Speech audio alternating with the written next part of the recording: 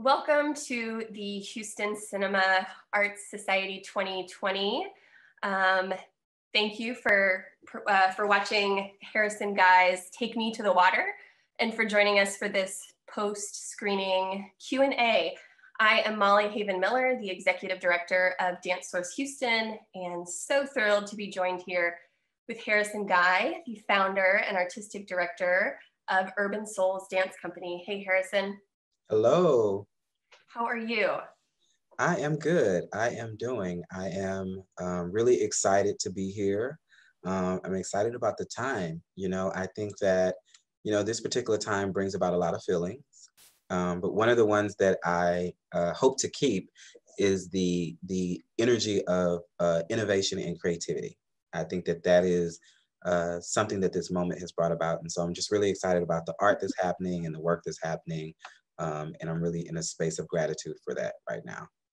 Yeah, yes, I I agree with that, especially uh, especially as we start to approach holidays and and where feelings and emotions get get even bigger. Um, yeah. So uh, you and Urban Souls are celebrating 16 years. Yes. This, this year, um, right in July. Yeah, so um, we we celebrated 16 years. It was in 2004 that I launched the company at Dance Houston, um, the citywide dance festival that allows all kinds of dance styles and dance people to get on a amazing stage. Um, 16 years ago, um, I, I, could not be on like a Wortham theater stage on my own.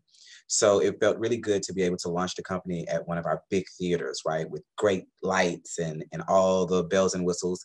Um, and so I launched the company at, with a solo. Um, it was just me. Oh, um, I had the name. I knew I wanted to be Urban Souls. That I had already done the work to figure out what I wanted to call it. So I did a solo called "Makes Me Want to Holler," at Dance Houston that year, and it was a um, it was about mass incarceration. And so I had an uncle who I was very close to, who was uh, in jail at the time, and we had a great relationship. We wrote weekly to each other. Um, he's actually uh, the first person I came out to in my family, um, and so we had a very special connection. And so I wanted to do a piece um, about his experience. And so it's called Makes Me Want to Holler. I had like these uh, faux jail cells on stage. And so I launched the company with a very heavy piece, but it was very clear um, of who I wanted the company to be in the beginning. I'm so grateful for that because I know a lot of people start things and they have to kind of find their way to what they want to say. Um, but from the very first debut, it very much said that this is a Black company and this is a company that wants to talk about social justice. Um, and so I kind of stuck with that. I, I kind of led with that and stuck with that. And so I'm really grateful about um, our, uh, us being 16 years and being able to do so many works about the Black community, so many works about the Black experience, and so many works about just how do we make the world better. And so certainly we've done other things as well. Um, we've danced, we've, we've done fun things too. um, but just being able to have that kind of that kind of core and to always come back to home and know who we were is very important to me. And so I'm really excited that we have lasted 16 years. You know, a small dance company to last um, I think at a time I've talked to my colleagues and we always thought that 10 years was like the max for a lot of companies similar to us. If you're not like a big dance amazing organization like Ailey or Dallas Black and those that have the they have you don't the have those extra zeros. Yeah, I don't have those zeros, you know. And so organizations that don't have that, you know, we thought maybe 10 years, maybe you know, maybe 11. Um, so to be here 16 years and to be figuring out what do we do next, it, it feels really good. Yeah, well, happy Sweet 16 for sure. Thank you. Mm-hmm. Um, so the piece that we just watched, Take Me to the Water, um, is certainly part of that, uh, part of your mission mm-hmm. um, that, that shares the Black experience and, and Black expression. Um, and this piece comes from your remembering of going through the, the process of baptism in the Black church. Um, so can you, can you talk more about like your, like the, the way that you like specifically remember that um, that process and oh, oh for sure and those, so, and those the, the, way that you put it the the bone deep memories of oh, that yeah. I, lo- I love that expression so much Absolutely. Um, yeah, I, I call all of the works that I do that are nostalgic in nature bone deep because I feel like those memories just can't get away from you. Um, and I think we all have those types of memories and, and we call on them for different things. And so me being baptized is definitely a bone deep memory for me. Um, I grew up in, in the church. I was one of those people who was at church all the time. And so, um, but I don't have the experience that I was really forced to be there. I loved being there. It was uh, my church family and my church home was where I learned to lead. My first time leading was a youth choir. I was president of youth choir and you know they had to vote for me and so it was my first time having to like campaign for something um, and it shows up to even today in the things that i do in, in politics and so it was really my first kind of like space at leadership but it was this first space where i felt completely seen and hurt outside of my family. I have an amazing family that I always felt seen and heard with. But outside of the home, because getting bullied so much at school and not being able to kind of feel your your way, um, sometimes you feel so detached from everybody uh, church is something that felt like another home. I got the exact same feeling I felt at home, I felt at church. So everything around church for me is really, really good memories in my home church anyway, growing up. And so, um, you know, I thought a lot about the important parts or the fun parts or the amazing parts or what were big memories at church. And uh, certainly baptized getting baptized was one. It was something that my church made a big deal about you know it was done you know once a month and and people who were candidates for baptism like everyone knew that this was the month they were being baptized and so everyone came to support them and to see them and so um, you know getting ready for it was this big deal because you had to bring extra clothes to be baptized in and you wore a certain thing afterwards um, and so you also knew beyond the kind of spectacle of it and what it meant to see it you also knew that it was meaningful for your relationship at church with god with the church. It was like a way to kind of deepen what you you were what you were experiencing at church. And kind of even though you know we did this as kids right? You, we most of us got baptized as kids and we had no idea of the magnitude of what that meant within the theology of christianity but we knew it was a big deal. Like you just knew it the way the pomp and circumstance and everything around it you knew it was a big deal. And so i remember watching my friends get baptized all the ones that got baptized before me and i remember telling my grandmother i want to get baptized you know and i i, I want to do it i want to do it and so she went through a series of questions with me about faith and things that I could handle at that time, um, and to make sure that I was ready to be baptized. Mm-hmm. Um, and and, when, and once she felt that I was ready, you know, she allowed me to be baptized. And so I just remember it being just a really, really profound experience for me that deepened the relationship of a place that I really loved and felt home, which was um, one of the few places at that time um, that I felt that from. Um, and so that's kind of my experience of being baptized, you know, at my church. Mm-hmm. So the the the piece i feel like certainly reflected that uh, the the moments of, of a sense of of like ritual and procession um, through throughout. Um, and i you know the the space that you were in for for the the, the, the middle majority of it um, in the cistern is such a i don't know to me like it, it looks like an underground church. Yeah. Like with you know with all of the the columns and pillars um and and i i wonder how what was being in that space like? Like the knowing the history of it that it you know was this structure that provided water for the city of houston and then it was forgotten and then rediscovered um, which seems like almost impossible that you know the city could forget that there's this huge cavernous cistern um, underground. But like, I, I just wonder what being in such a such a vast space was like, and how that I don't know sort of lended itself to to you know reminding reminding everybody that you know that uh, there was this this tie to a, a sense of of church and and ritual. Yeah, I mean there there's so many parallels. It, it's so poetic um, in so many ways. The um, the space and the the theme of the of the piece. You know, when I first when I first uh, became aware of the cistern is when everyone's making a big deal about Buffalo Bayou um, reopening it. And so mm-hmm. um, I, when I saw pictures of the reopening, I was like, wow, you know, that's an interesting space. And so my first kind of curiosity about it is just that it's just simply interesting. Um, and then when I did the first tour of it, I immediately thought of church because of all of the pillars that are in there. It's underground. It feels like you are away from everyone else. It's so um, serene. Um, and so I just thought I just had this kind of spiritual connection to what the space was. Um, and that was just me kind of looking at it. And, and I'm the type of person when I feel something like that, I always kind of want to do something there. And so I immediately said, I want to dance here. Um, I want to create or make a dance here. And so I knew that it was a space through the years that, that it had been around and redone that had not allowed a lot of live performance in it. and so I myself said, okay, this is going to be a challenge getting in here probably because the things that they had done so far were projection things and very visual arts heavy, um, mm-hmm. which is which is kind of like one of my um, uh, issues with situations like this is I feel like visual artists get to go everywhere, right? They get mm-hmm. everywhere because I think that their medium just kind of lends to a lot of things and makes a lot of sense for a lot of spaces. Um, and so um, uh, once I got invited to kind of like do a piece here, um, or I asked and it, it all just came together. I knew that I wanted to be religious based.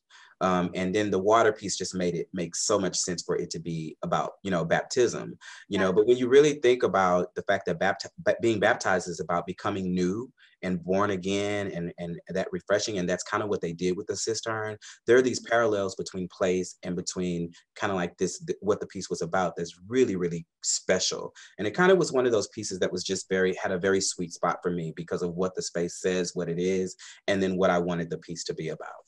Yeah I um, had the opportunity, as, as, I know a lot of other people did, to watch the the first iteration um, of the of the piece when when Buffalo Bayou Partnership had their fifth anniversary series that you all were a part of, um, and it was really I really appreciated being able to watch that version and then the the, the fuller version that that we just saw that that had sort of the the intro and the outro as, as well as like your really personal narrative that that went across the the whole film and it it to me it was so the even though you know 22 or so minutes are are the same with with some added um, narration they they felt so different mm-hmm. um, that yeah it it's so it's so personal and honest and hopeful mm-hmm. um, that I don't know, I, I really appreciated that so much. Um, yeah, you know, I, we always knew the way that this project kind of developed, we always knew that the middle section was going to be due to be aired before the full piece for Cinema mm-hmm. Arts. And so we got to do that piece and record that piece first and release it and people got to see it first but we already knew kind of what the what the flow of it would be. Mm-hmm. uh, and, and so we really wanted the middle section that we gave to buffalo bayou to really honor the space because that that's what we were doing. We were really paying a homage to this amazing space and the anniversary of the organization. And so we i didn't want the middle section to be overwhelmed by me. You know i didn't want to make it really mm. about me. I wanted to make it about the space as much as much as we could so that middle section really was about the architecture. It really was about the echo when the dancers are speaking, and you can hear that that that mm-hmm. echo that's in there. You know, and it really was about um, when he climbs up the you know the the the stairwell where you can get out of the space. And it was really like showcasing you know every corner that I could of the space, but still keeping it within the framework that it would work for what we were going to do with the larger work. And so then when we got back got, got to go back and do the larger work, it was you know how do we add other water elements to this piece? Because it is about baptism but it's about memory. So i don't want it to just be at a church in a baptismal pool because it's about when i see water when i'm in water i remember this. And so how can we then tie it to something else like a beach? And so it made a lot of sense to really start it out kind of at a church. I mean we had to start it at a church so people really can kind of come with me in that memory um, and that church that we went to has such an amazing um, artwork and a, it's just a really beautiful setting that's pleasant hill here in fifth ward. And so i just love the way the the baptismal pool is kind of flanked by these huge murals and it's so creative. Um, but it really gives you this sense of kind of old tradition. And so i really love the way it looked. Um, and then I, I got to work with a, a, a young student um, who who I've worked with before, um, but he got to play kind of the younger version of me in this, and it was very uh, sweet to to work with him because he's also a Christian. He understands what baptism is, and so um, it, it, was just really nice to have like a kind of intergenerational um, feel with this as well because. Um, you know, when you talk about when I was eight years old, you know, and I say that, you know, in the piece explicitly, it, it's one thing to remember it and to not have presence of a youth voice or to not have presence of, of a youth at all. Um, and I think that a lot of times you, young people are shut out, you know, and a lot of people, a lot of times we don't allow that kind of youth um, connection for a lot of reasons. And a lot of spaces I'm in, we're all trying to figure out how do we make this intergenerational, right? And so this mm-hmm. was an opportunity to do that. I'm so glad we got to do that. He had a blast doing it and just really I mean, he just he just really got it. He just really got it, and so I was so pleased to work with him. And then flanked by the in um, who Denzel, who's playing the kind of older version or the now version of me, and, and just those two knowing each other and just seeing how it all came together was really really beautiful. Just this mix of kind of like young and older, and and what the memory means versus right now. Um, there was just all these things at play that made the both the process and the end product really really special. Yeah, yeah. The the the opening space in in that church, um, and the the young dancer um, was such a grounding way to to start the journey, mm-hmm. um, and then seeing Denzel, yeah, out out in in open water um, mm-hmm. as as you recalling those those memories and those connections to water was um, yeah it was a really sweet way to to to end the journey. Um, yeah. Yeah. yeah, that church scene, the opening scene, I kept telling um, Alex, who who um, shot and edited the film, you know, at, at, first the opening of just showing the church was so short, and I kept saying it's too short. Like you got to give them a moment at this church. Like this mm-hmm. is too beautiful. I don't want this to pass by. And you know, the uh, the creative process of this of working with Alex was really interesting because Alex is not a dancer, and so um, it, it's very interesting um, how non dancers um, feel about dance. And so, mm-hmm. uh, you know, Alex wanted it to be very body and very dance wise. And I was like, there's not enough story. Like, I want to see his eyes for longer time. I want to see his face. Yeah. Like, I want to see him just sit. Where's the stillness? Um, I just don't want to see him moving. I don't want to see the phrases. And I think that, you know, that was a good kind of like push and pull between Alex and I with me um, uh, with him kind of like what what do we expect dancers to do on film? And me saying this isn't really about that. You know this is about telling a story and, and the movement will come and the movement will be there but i don't want to lead with what he can do in his body. I want to lead with, um, you know, what he looks like in his eyes. You know, what is his spirit saying as he's just sitting in front of that cross? Um, and so that was the creative and the technical part of this was was uh, very exciting to me as well um, because we got to have that kind of back and forth, which was really fun. Mm-hmm. I wonder what, um, like, you know, over the past eight months, the way that people create things looks way different, the process by which people create things, and just the the number of opportunities that there are to create and for people to to be a part of someone else's process. Mm-hmm. Um, I I wonder what what that was like with with you and the dancers over the oh past few months. So I, I will say that the dancers love dancing in the cistern first of all everyone who was a dancer was very grateful for this opportunity because they aren't doing a lot of creating right now they aren't doing a lot of creative things um, and trying to figure it out virtually has been a challenge in a lot of areas. Um, and so they love that part of it. Um, and so i think that denzel totally enjoyed of course dancing at the beach. Like that that's fun. Um, and I think that Gavin also really, really enjoyed being at that church because he gets it and he enjoyed just being a just a young person being invited to be a part of something makes it special for him. Uh, but the company members that did the middle section, I mean, they were just overwhelmed by the cistern, of course, because it's just beautiful and de- getting a chance to dance in that is just you know it's just unbelievable right mm-hmm. um, and unique and special because no one had gotten to dance in it before um, the flip side of that is that because we are in this moment I can tell they were dying to do some synchronized phrase work, right? Mm-hmm. You know, mm-hmm. just what we're known for. And you know, this this time doesn't really allow for us to be in big numbers like that and rehearse big phrases like that. And so, yeah. uh, even up to the minute, they were like, "Are you sure you don't want to give us a phrase to do all together?" And I'm like, I'm sure that I don't want to do a praise um, right now. I think I know you want to, but this not this time. And so I, so there was a little bit of them that was dying for the old way, you know, and I could feel that, and I get it, and and I almost gave in at the last at the last minute, but I kind of you know stuck to my guns and said no. It's going to be, you know, what's going to be beautiful about this project is to look back and see that where we are played a major role in this. You know, the nostalgia about the piece um, on top of the nostalgia about the baptism, the nostalgia about the piece, that's important. So I don't want to pretend like, and I don't want the piece to pretend like we're not in a certain moment. I wanted to also document exactly you know where we are even with the mask like i hate the fact that they had to, to wear masks in the cistern piece um, mm-hmm. because you know part of showcasing black dancers on film for me is seeing the beauty right mm-hmm. it, it, it's really a, a, a, cornerstone of urban souls is to is to show the beauty of black dancers and show the beauty of black people and to have to have so much of their face covered. I hated it. like I so hated it. Um, but you know, it worked and, and it worked for this time. And it also, like I said, it documents kind of where we are and it doesn't pretend. And so I, I've always wanted to create work that did not pretend, um, tell the truth about the history. So we have to tell the truth about today.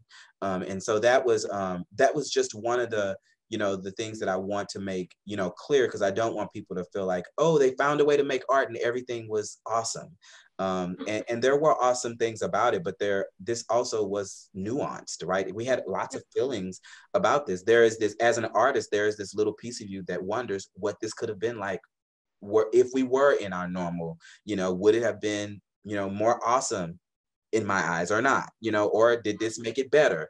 Um, there are things to consider that this moment allows us to consider that that i think um, are not necessarily feel good things to be thinking about um, but there are definitely you know it's interrogation of, of, the moment and of the time and i think we should be honest about that and not really just pass over it because i think resilience is is a is a um, is an umbrella that artists hold over our head to wear this badge of we did something in this terrible moment and that is true mm-hmm but it's also to be very honest about what we feel about that and what we felt about that process. Yeah. Yeah, I think that's really important that um, that in honoring you, the the memories that you have of of um, the ritual of baptism that that you're not you're you're not eliminating the, the memories that we will have of this year and everything right. that it has been and was and you know when we see when we see masks mm-hmm. in the future looking back you know whenever that day is you know we will we will wrap up everything that happened in this in this year and however much of next right um, and it will yeah it will come to symbolize so much yeah. um, that that it took everybody to to get to the other side yeah yeah um, I, I, want the reality to be to be clear you know yeah. I, I definitely want um, I want this work to to to be very very clear that this is you know what happened, and so that that was really important to me. And you know, I went into this not even thinking about that honestly. I mean, of course, I thought about you know mm-hmm. what could we we we we could and could not do. Um, yeah. But as once we got in it, I was like, oh, there's a lot more things to think about here, and I had not considered the dancers' um, feelings in that way in them maybe wanting to do more. I just didn't think about it. Honestly, I just thought, you know, I'll lay out the structure, we'll come in and do the work, and then they'll just filter into my work. Um, I hadn't really thought about the desire part of what yeah. the artists might have wanted. I had not thought about that until they asked. And when they asked, I was like, you know, I was like, huh, maybe. And then I kept kept moving and kept working, and I was like, huh, maybe not, you know. Um, and so it was just a part that I had not really really thought through until I was in it, which is what I love about the creative process is that you don't know how it's gonna go. You know, on even when prepared, you just don't know. Yeah. It's the nature of what we do, right? Yeah. And so that's true about feelings and thoughts too. Um, beyond technicalities and logistics, um, there are these human things that that play a big role in in creation. Mm-hmm. Yeah, absolutely do you do you have like a a favorite and this is like asking a parent to pick their favorite child but like do you have a like a favorite like section or moment in in the whole movement? Yeah um yeah that is like asking a parent it's not um, fair. but but i feel that i was a favorite child. I have some i have some um you know I really loved when um, when in the the beginning moment. I'll do one for each section. I really loved in the beginning um, part with Gavin when his hands go into the water. Um, it's just his hands into the water because the way that the water looked, I don't know if it's just the fact that it's these old baptismal pools, because my church was a really old church too. Um, but the way that the water looked, it looked exactly how I remember the water to look. And so his hands in the water was just like, oh yeah, you know, it really brought it back for me. So I love that moment. It's just a simple moment there. In the cistern section, the echo is my favorite part, which is crazy because it's not a dance thing, but it's the words that were chosen from the spoken word, uh, Ebony Stewart's work, the word that, that, that I chose from that, and the way the dancers were so focused and just something that wasn't dancey, but it's just so profound. Really, that was my favorite part, you know, to see the words projected, you know, on the wall. And when they they turn and they touch the wall and it changes, that was just simple, but for me, it was one of the parts that I just really loved. It, I loved many, but that was one for me. That that they're hearing the and you know dancers don't speak all the time, so just hearing them say things. I love when dancers speak and sing and and do things um, vocally. I really do. And so it was simple, but it was it was the part that I get so excited when that part is coming up. When I see them coming to it, I'm like, here's my part. So I love that. And then Denzel in the end it's a very simple moment where Denzel is is is really just gazing on the rocks, you know. And there is something about you see the you see his black nail polish mm-hmm. uh, in this particular shot, and there's just something about his eyes and that and and and, and the black nail polish because I don't explicitly state that some of the the tension that I was feeling about baptism. I mean, there's there's there's Gavin wearing this red and white, so there's a little bit of play there. Mm-hmm. You know, um, there's not a lot that says that talks about sexuality in the piece. It doesn't explicitly talk about it, but um, I think it people might make some assumptions about it. But there's something about Denzel sitting on the rocks in the black nail polish that says maybe that mm-hmm. pushes it a little closer to um, what I would uh, want that the piece is truly about my true experience. I left it a little bit open just so people can develop their own experience with it. But there's something about that shot and seeing the black nail polish that just, mm, it was just really mm-hmm. special to me. Yeah, I I I loved I loved like finding that detail in watching it, um, and the the the way that it that it was repeated throughout. That like that questioning of you know is it uh, can, can can someone like me be saved be cleaned be cleansed be um, truly forgiven mm-hmm. um, and i you know i feel like i mean i think we all know so many people where that that wasn't the story that they were told and that wasn't the that wasn't the community that they were in yeah. um, and and that it, it went a completely different direction yeah um, yeah and, so, and, that speaks to i mean this is getting a little deeper probably uh, uh, than than we wanted to hear. But it really speaks to those marginalized those people who are shut out who question that. Because because what's interesting about this is my I, I come from a very open and my church loved me but i still had those questions. Yeah. so it's like even in a safe space the world projects these kind of questions onto you. So you almost can't escape them even when you're in a safe environment. I had double safety where i was safe at church safe at home but i even still was like me you know and so mm-hmm. so yeah that there those questions in there was very important for me to establish that that there was tension but um, what it does not really say is that the tension was really self-imposed a lot um, or maybe just just really influenced by people who weren't the direct people and so a lot of people don't have that experience now i will say as i started to go to other churches i did not have the same experience as my church i want to make that very clear um, because it was not as good as other churches growing up. And so um, there, I did get to experience what people felt that didn't get that. So I know what that feels like. Um, but I just didn't feel it at home. So yeah, those questions for me were really, really important. And probably the uh, before we run out of time, the only other thing I want to make sure I talk about is the music. Mm. I really want to talk about the music. So the spoken word in the spoken word to Ebony Stewart is amazing. That was such a short piece, but I hope to work with her on something larger at some point because I just love her poetic voice and she has such a gift. Um, but the music um, in the cistern part was uh, Rob Smith, who is a professor at U of H and works with Aurora, um, who I did a piece with him, um, a commission piece with him before, and I love his his music dances to me. It dances by itself. And so I knew who I wanted to use for this immediately. And so I got to use uh, uh, one of his uh, big ensemble works. And so that was really, really fun. And then actually, the Wade in the Water song was done by my barber. My barber is a rapper. yes, my barber is a rapper and he creates his own music. And so in cutting my hair, he said something about music, and I was like, oh my God, you make music. And he's like, yes. I said, I need a song for this piece. And I just told him what the piece was about. And I said, I'm going to be very honest. I don't want to tell you what to make. I really want you to give me something that you created because if I guide you too much, it's going to be like i already know what it's going to be like right? Mm-hmm. and so i just told him what the piece was about and i told him he could pick anything he wanted to do and i was going to use whatever he gave me and he came back and i absolutely loved it. Instantly i said he gets it like it just it fit with not a lot. The only note i had was you got to make it longer it's so good that you need to make it longer and so yeah. um so uh, uh, he goes by uh, es85 is his producer's name and so uh, i'm really grateful that the music was just really really uh perfect for for what we were able to create.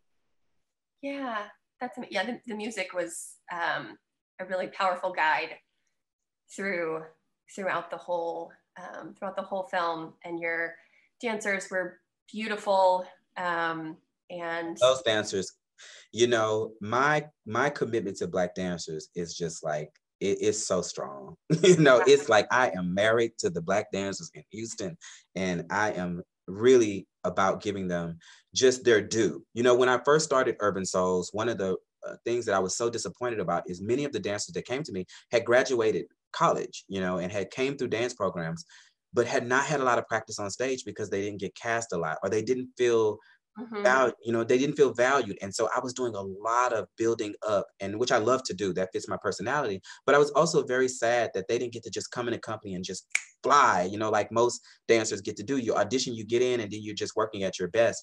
And it, it, took a lot of mental and a lot of spiritual kind of building up to these dancers to get them ready for the stage, just because of the experiences that they had. So that that piece of my experience with Black dancers is what solidified this is who I want to work with. I want the works to be about them, but I want to showcase them in a way that they feel proud. And so can't say enough about the dance. Some of those dancers have been with me forever. And so I just can't say enough about um, about the dancers that were in the piece.